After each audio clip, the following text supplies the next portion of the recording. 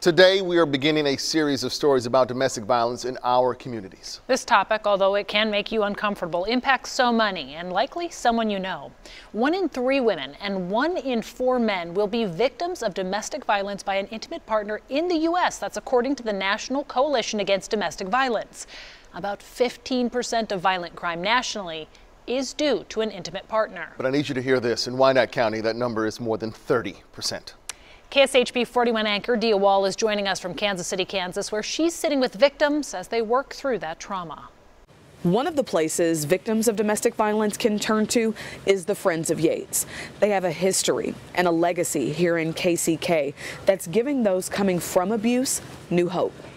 We actually are the only domestic violence agency in Wyandotte County for the last 43 years. What does that mean to you to be the one?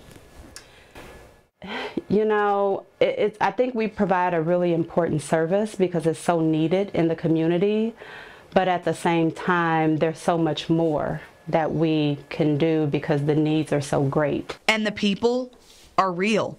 Women like Tessa, whose last name we won't share because she left a physically abusive partner after she was forced to reach out to police. They're the ones who made the call for me to get out of that situation. And they're like, pack up a bag and let's go. And that's exactly what I did. How much did you sleep the first night? Oh, not at all.